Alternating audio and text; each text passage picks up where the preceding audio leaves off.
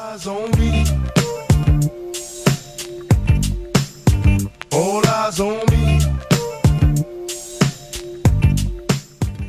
Good morning, Warriors. This is Tuesday, October 11th, and these are your morning news announcements. For lunch today, in the hot line, popcorn chicken, mashed potato gravy bowl. In the cold line, chicken ranch wrap and buffalo chicken ranch wrap. Congrats to the girls soccer team for defeating Edison last night 9 to 2. Good luck to the volleyball team as they travel to New Philly for their last normal season game. If you pre-ordered a t-shirt for the Powder Puff game, please pay Lori Bryan in the office by Friday. They are $15.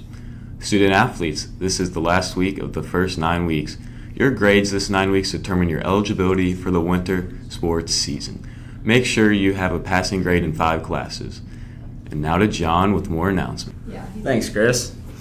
There will be a five minute meeting today during each advisory in the high school gym for boys basketball. There will be academic challenge practice on Wednesday after school until 3:45. Seniors that signed up for Mansfield trip money is due Friday to Mr. Wolf.